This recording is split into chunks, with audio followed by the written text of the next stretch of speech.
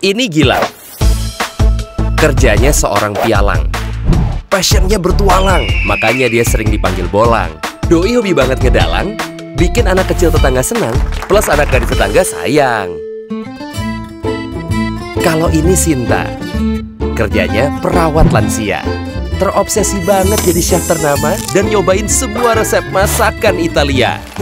Tiap weekend, Doi ngulik motor customnya sampai nggak sengaja ketemu jodoh hidupnya. Nah ini nih Marpaung, PNS yang hobinya melihara kucing kampung.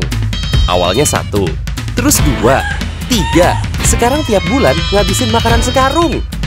Eh ada lagi hobinya, Zumba, bareng emak-emak sekampung dari Sabang sampai Parung. Karena hidup punya banyak sisi, tunjukin aslinya lo di Kaskus. Profesi, passion, dan hobi semua bisa barengan dijalani. Kaskus, berbagi hobi, berkomunitas.